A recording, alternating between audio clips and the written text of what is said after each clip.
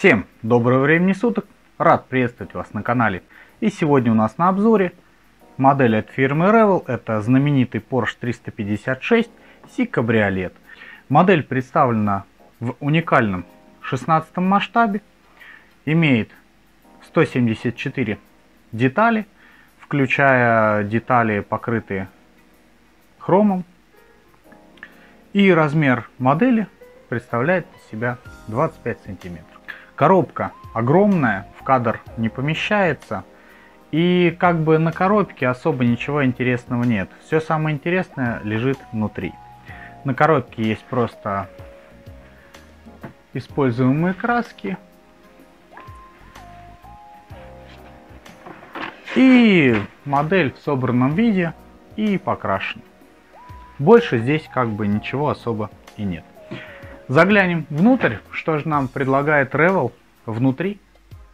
Ну что же, посмотрим, что компания Revel предлагает нам в этой коробке. Предлагает она нам отличную глянцевую инструкцию с хорошим фото собранной модели. Также у нас здесь есть чего начинать сборку, какие инструменты нам могут пригодиться.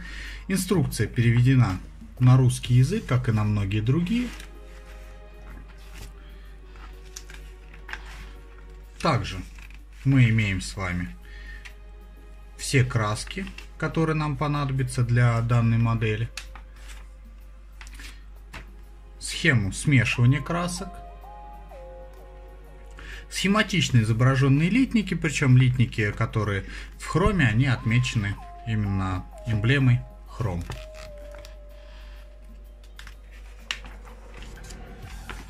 Инструкция очень подробная, очень качественная, очень приятные принты. Единственное, э, только будет вставать вопросы. Здесь сразу же указано, какие декали должны клеиться и в какой цвет это все должно выкрашиваться. Нужно будет узнать о целесообразности выполнения именно такой последовательности, возможно ли будет в будущем добраться до данных деталей после сборки, чтобы сразу не выкрашивать их в нужные цвета. Это будет выяснено позже, во время сборки.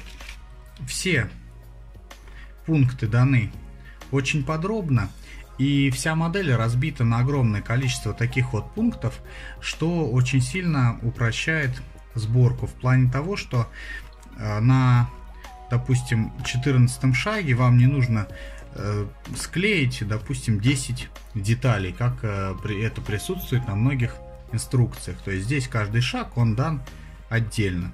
И это очень упрощает жизнь новичку, который решил открыть для себя мир автомоделизма. Указаны все основные пункты, я не буду на них останавливаться, но даны они очень подробно и очень качественно. Причем, как вижу по инструкции, можно собрать европейскую версию и версию США. В конце инструкции нас ждет схема нанесения декалей именно на кузов автомобиля и схема окраски в черный глянцевый цвет. Не знаю, насколько он аутентичен, то есть были ли они действительно черного цвета или они выпускались в разных цветах, но производитель предлагает нам именно черный цвет. Начнем наш осмотр с кузова автомобиля, с которым не все однозначно. То есть э, сама по себе модель очень хороша, а, но детали представлены в трех разных цветах пластика. Зачем это сделано, я понять не могу, но у черного пластика есть одна очень неприятная мелочь, такой вот нюанс, но который сбивает с толку. То есть в местах образования соединений с нижней частью кузова автомобиля на верхней части образуются небольшие провалы. Почему, я не могу этого сказать, но это очень неприятно, так как придется использовать наждачную бумагу и шпаклевку. Как бы моделист, который сталкивался с моделями, для него это проблемой не станет. Но для новичка может как бы ну, создать трудности, хотя небольших, но все-таки. Я это к тому, чтобы вы, приобретая данную модель, были к этому готовы, что э, здесь нет э, идеальных каких-то линий и придется немного поработать шпаклевкой и руками. Так что не пугайтесь, это норма такая для данной модели. Именно в черном пластике. А так, по большому счету, корпус э, довольно-таки хорошо выглядит, отлит одной деталью. Э, единственное, только двери устанавливаются отдельно. А это как бы большой плюс. Так как можно будет сделать их открывающимися. Нижняя часть кузова нашего автомобиля также отлит одной деталью. И здесь все уже получше, так как все толкатели выведены на внутреннюю сторону, где будут устанавливаться части отделки салона. И здесь единственное, что на что можно обратить внимание, это на то, что это оригинальная модель Revel выпуска 2018 года. То есть это является практически э, новинкой на рынке. Раз уж э, мы пошли по черному пластику и элементам кузова автомобиля, Э, здесь у нас представлены две двери. Кстати, на дверях тоже присутствуют данные провалы небольшие. Из-за того, что здесь образованы детали крепления внутренней отделки двери. На капоте таких вещей нету, питатели выведены все внутрь. Единственное вас может смутить а, наличие таких вот полос. Не пугайтесь, эти полосы они чисто визуальные, тактильно они не ощущаются. Также здесь представлена Э, капот. Сюда будут устанавливаться две решетки хромированные, о них мы поговорим позже. Выполнено все это довольно-таки качественно, пролито отлично, за исключением, конечно же, данных э, косячков с подводом крепежей. Собрать модель мы можем в двух интерпретациях, это как в, с открытым верхом, так и со сложенным. Обе модификации, по большому счету, обладают одной и той же детализацией. А, здесь отлично проработаны складки, отлично проработана кожа, и любителям а, росписи это будет в радость, можно будет создать дополнительный контраст.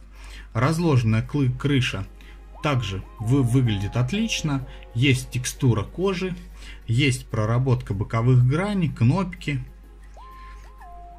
И Единственное, что присутствуют небольшие вот такие вот облойчики, но это все мелочи. Сама по себе крыша выглядит изумительно. Мы переходим с вами к серому пластику, и что здесь можно сказать? Серый пластик выглядит несколько иначе, нежели черный. Серый пластик более грубый, более плотный такой, и он э, не оставляет вмятин на следах креплений. То есть я это все проверил. Почему производитель не вылил все в сером пластике, я не знаю, но это уже вопрос к нему. Здесь мы видим с вами проработка отсека пассажира и водителя. Здесь будут устанавливаться педали. Выполнено все под кожу. Плюс приборная панель, которая будет забиваться хромированными деталями. И здесь все хорошо, ни одного толкателя сюда не выведено, нет смещений каких-то, нет облоя, все на уровне. Руль отлично выполнен, но на данный момент даже в 35 масштабе сейчас э, литье дошло до такой степени, что руль везде выглядит отлично. Также в сером пластике нам даны пассажирское и водительское сиденье, накладки на двери, которые выполнены тоже с элементами кожи, с клепкой. А, плюс есть отверстие под установку хромированных деталей. Кожа текстурирована хорошо. Небольшой облойчик есть, совсем мизерный, то есть на него можно не обращать внимания, это все мелочи. Есть вот такие вот змейки. Надеюсь, вы их увидите. Но не обращайте внимания и на них, так как это чисто визуальный аспект такой. Тактильно это ничего не ощущается, борозд никаких здесь нет. Дальше у нас идут литники, которые можно объединить по большому счету в э, один видеоряд. Здесь у нас идет двигатель, части для сбора ходовки, плюс запаска и всякая мелочевка для детализации двигателя. Выполнено все это уже в третий вид пластика, это глянцевый серый. Если до этого у нас был черный и матовый серый, то это глянцевый серый, то есть этот пластик тоже отличается от того пластика, который был представлен до этого. Почему это, я не знаю. Но здесь все выполнено просто отлично. Пролито все очень качественно, нет нигде ни смещений, ни каких-либо недоливов, облоя нет, и все толкатели выведены на внутреннюю сторону.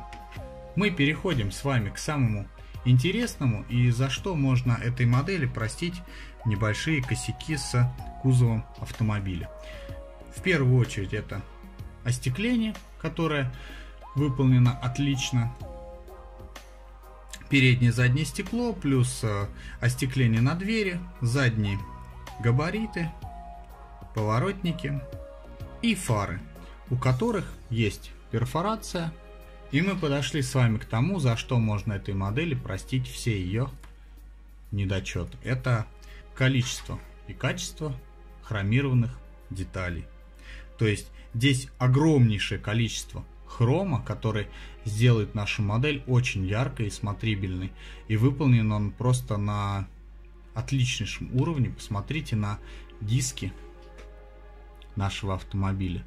Сами бы мы очень долго полировали и добивались бы такого цвета. И неизвестно, добились мы его или нет. После установки всех этих деталей на наш автомобиль, автомобиль просто будет весь сиять и будет очень отлично смотреться. И еще одна плашка хромированных деталей, решетки на капот причем а, расстояние между решетками где-то 0,3 мм, но они отлично вылиты и отлично хромированы. Плюс ко всему этому модель имеет отличнейшие колеса, на которые приятно смотреть. Протектор четкий, внятный, а, нет шва посередине, то есть они вылиты путем через центр. И это очень хорошо. Не знаю, должна ли быть здесь нанесена какая-то техническая часть, да, там диаметр, еще что-то, фирма-производитель. Но на данный момент здесь этого нет, но меня это не смущает. Я считаю, что эти колеса выглядят просто отлично. Также в комплекте у нас идет целая планка декалей, причем декали э, отличнейшего качества. Посмотрите на то, как они выглядят. Произведены они исключительно самой фирмой, то есть Revel, напечатаны в Италии. И здесь огромное количество номерных знаков, а, панель приборов, плюс а, значки Porsche и прочие, чтобы мы смогли с вами создать машину уникальную под э, определенную страну. Ну и небольшое пособие по самой модели, то есть это просто обычная техническая документация, которая вкладывается в любую модель. Ну что же, подведем с вами итог по данному автомобилю. Если вы ценитель Porsche, если вы хотите прикоснуться к истории вместе с Revel, то эта модель, конечно же, для вас, так как модель представлена в интересном 16 масштабе, модель очень крупная, обладает отличнейшей детализацией и сумеет порадовать коллекционера, который будет иметь у себя на полке данный автомобиль. Есть небольшие проблемы с кузовом, но они легко исправляются. И думаю, если вы загоритесь э, к покупке данной модели, вас это не остановит. Надеюсь, что мой обзор был для вас полезен и вы сделаете для себя правильный выбор. А сейчас я с вами прощаюсь. Все, кому видео оказалось полезным, подписывайтесь на новые видео, ставьте палец вверх. Всем пока!